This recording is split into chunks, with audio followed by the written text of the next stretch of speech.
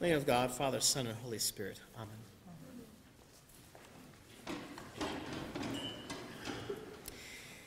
If I were to tell you that names have power, and that if you know the true name of a thing or of a person, you have power over it, you would probably assume that I was talking about the ancient world and the sort of superstitions that if you knew someone's true name, you could draw a heavenly curse or blessing upon them.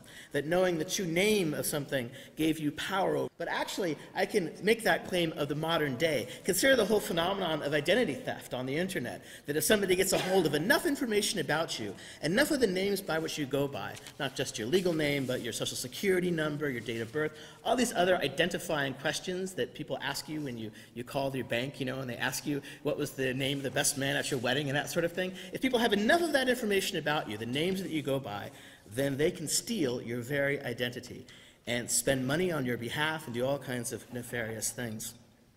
Consider that the, one of the most powerful hacktivist groups on the internet is called Anonymous right? Because they know that as long as they keep their identity secret from the authorities that are trying to track them, they have a measure of safety. The hacktivists, Anonymous, one of their specialties is uh, retribution on the internet for things they perceive as wrongs done to people in the community. Uh, for example, after uh, Amanda Todd, uh, a teenager, a Canadian teenager, uh, committed suicide because she was shamed on the internet, Anonymous took it upon themselves to try to figure out who it was that had been tormenting her anonymously on the internet. And when they found who they thought it was, then they publicized information about this man so that people could know who he was and uh, retribution could come through the internet. Um, incidentally, by the way, there's, there's a claim that they perhaps were wrong about who they thought did it, but you know, that's the limitations of, of crowdsourced justice, I suppose. In the Bible, of course, we have many instances of things being named. Uh, lots of place names, lots of people names, many of which have interesting translations if you, if you go into them. Uh, here's a hint. Anything with El, El is God. So, you know, for example, Bethel, house of God. Beth meaning house. Uh, Bethlehem, house of bread, interestingly. And, and Peniel, you know, this place where God was, etc. But naming, I would suggest, is actually really just a short form of storytelling. That when we name a person or an object, what we're really doing is trying to tell a story about it. Uh, consider the ways that most of us probably have some story about where our names come from, the names that our parents chose for us. My name, William Tay, was chosen because that was a family name going back many generations. Um, William Tay came over to America in time for the French and Indian Wars, and the, the 17th century. Uh, you know, that, that kind of story gets told. And, and when people hear that, they know something about my family, not just that they were in the United States for a long time, but there's something in that about how they know something about their history and they, they care about it and they're very sort of traditional in how they do names. Uh, other people have other kinds of names that come from other stories. Uh, you know, there was um, a, a person recently who named their child after Pearson Airport uh, because Pearson Airport is their favorite place in the world. They, they have pleasant associations with it. And you know, I don't blame them entirely. I mean, don't you get excited when you go to the airport and you're traveling for a vacation or even work and you're kind of excited to visit a new city, a new place? Uh, I can sort of see that, although I still think it's a bit odd, but that's another story. Naming as storytelling. Think about how nicknames function in community to incorporate individuals. Like, you know you're part of a team when they give you a nickname. Uh, I, a couple of years ago, I watched this documentary uh, reality show about the Canadian Air Force and how they train fighter pilots. And in this class of about two dozen fighter pilots, to, you know, want to be fighter pilots flying F-18s, there was uh, one woman uh, in the group, in the class. And when she graduated, uh, they gave her a nickname, and they gave her the nickname Guns. And they gave her that name because she turned out to be extremely accurate and deadly with a 20 millimeter cannon on her airplane. so they called her Guns. And as she uh, was given that name as part of the ritual, she had to drink a shot of whiskey or something that was poured down a gun barrel, right? And that was how that community marked her membership as one of the guys, as, as one of them in their community. Uh, last summer, I was given a nickname. I, I was temporarily uh, on a sailing team that, that I don't normally race with, and uh, they were kind of trying to figure out who I was, and they found it kind of weird that I was a priest and all that kind of stuff. So they were teasing me a lot about that, and they decided to give me a nickname. They called me the Squirrel of God. instead of the Lamb of God, Squirrel of God, because my position on the crew was to be the most junior uh, uh, gopher kind of position, which is called the squirrel, because you're just inside the boat, like down underneath like a little squirrel, you know, and dealing with the sails and stuff. You don't even get to see what's going on in the race course. You're just in this hot, stuffy compartment the whole time. And so then they decided, Squirrel of God. And you know, when I see those guys, sometimes they still call me that, that nickname as a mark of their affection and their, their mark of, of knowing that I was part of their community. Naming with our is a, therefore a sort of short form of storytelling. Consider, though, how that can actually have some other interesting implications. Besides marking inclusion in a community, it can also affect a kind of healing.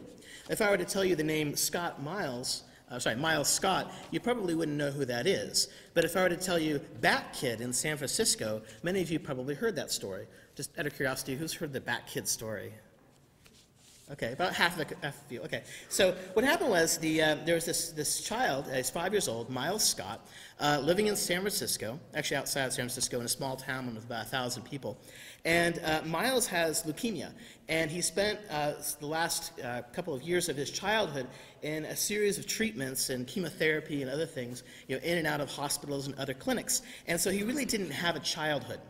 And now that he's in remission and he's coming out of his cancer, uh, the Make-A-Wish Foundation approached his family and they said, you know, we'd like to give him some of his childhood back. How can we do that?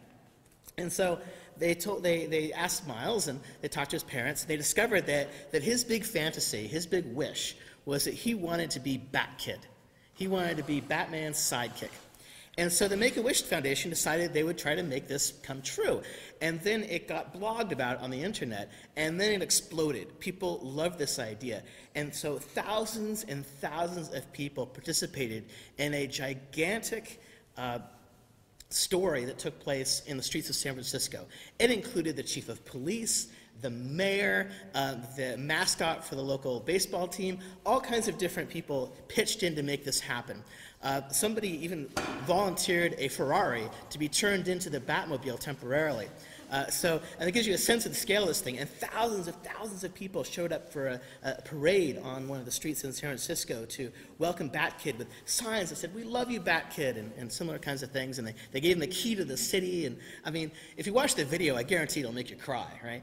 Um, that story that we tell about Bat Kid had a healing impact on that young boy's life. He will never forget this. And by the way, probably any gift that anyone ever gives him will never be quite up to the standard set by the Make-A-Wish Foundation. Poor kid. But amazingly, this has an impact, not just on that child, but on everyone who hears the story of compassion and how community can be united behind an effort at healing. We, of course, say things about our community. We give this community names. We call it the Church of the Messiah. And often when we say church, we have a, a, very particular notion in our minds of what we mean by that, a notion which others might not hold outside of these walls. It's uh, one of the interesting kind of problems is that we have to, as Christians, uh, take ownership of the church community uh, as a name and kind of reclaim it, re-justify it. For example, um, when, when you say church and you, you ask people what that what they, comes to mind, they've done surveys about this, they, they often feel that church is uh, uh, irrelevant, boring, and untrue. and I would argue strongly that church is none of those three things. At least, you know, not Church of the Messiah. We certainly ain't boring. We might be many things, but we're not boring, right? Is it relevant? Well, I believe so. Is it true? Of course. Otherwise, I certainly would not have put my life into this and, and so on, right? And I think many of you would feel the same way.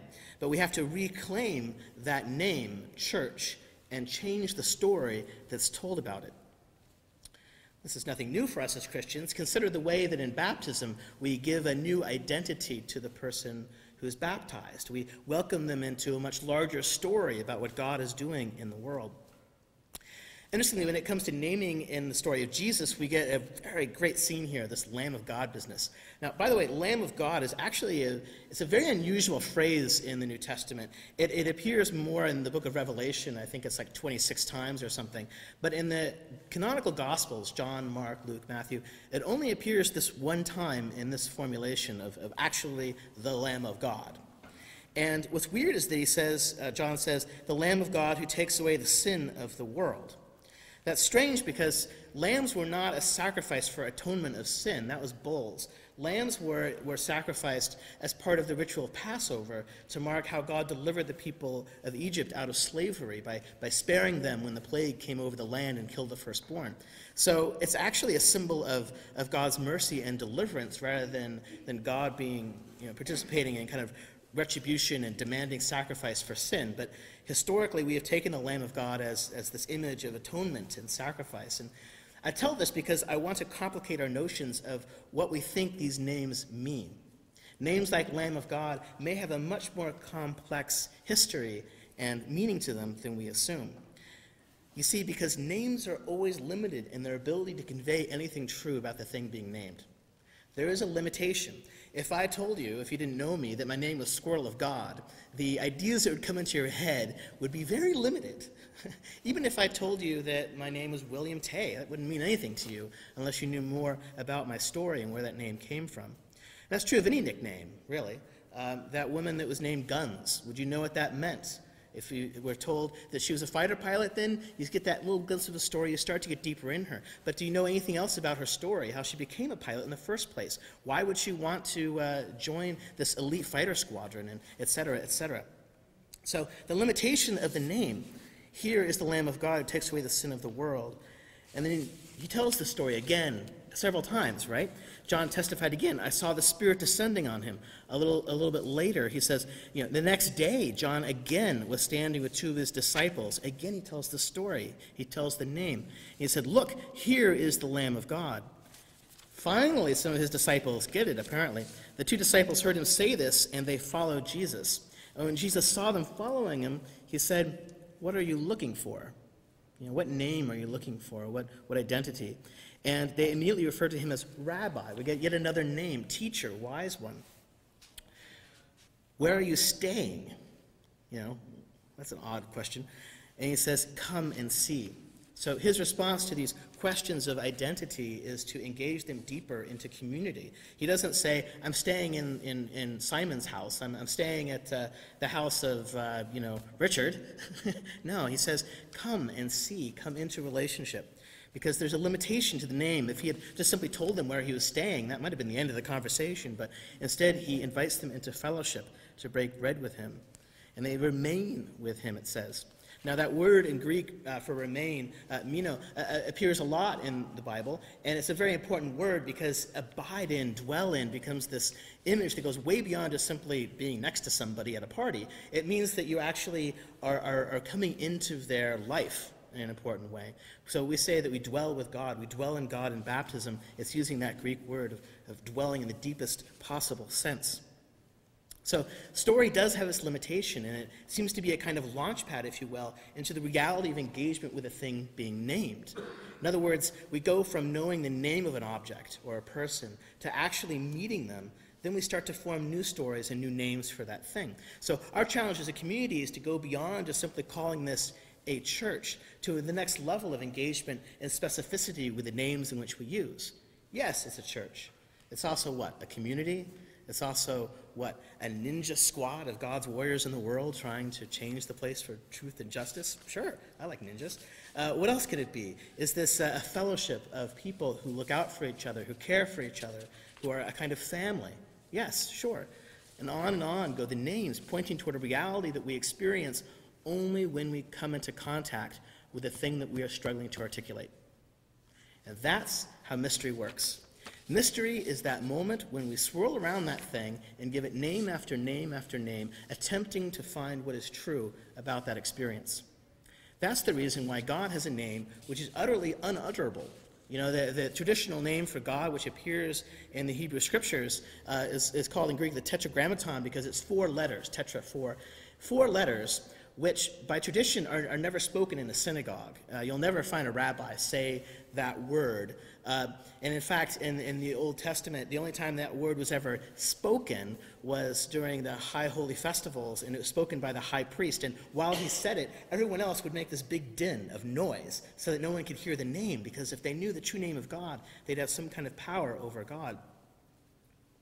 So that name, when it's printed in Hebrew, they don't put the vowels on it. It's just the four words. And when they come across it, they replace it with a title. They say, uh, the Lord, right? Adonai in Hebrew. So you'd be reading along, you know, thus says Adonai, right? Rather than thus says the word, which we don't even really know how it was really pronounced, but the word is represented by those four holy letters.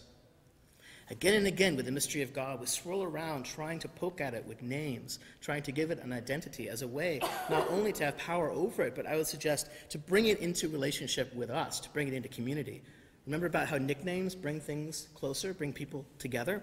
It's the same thing with the names that we use for God or for this holy community that we gather in every Sunday. So, what I want to challenge us with is what new names can we come up with for this community? What new names can we give to articulate the story of what we're about in this community? I'm just putting that out there. I want you to think about it. And now, as I customarily do, I'm going to open this up for a little bit of feedback if people have things they'd like to share in response.